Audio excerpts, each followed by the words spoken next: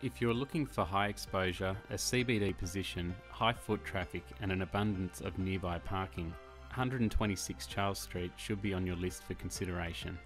This large open plan retail tenancy has for a long time been the home of Hullabaloo.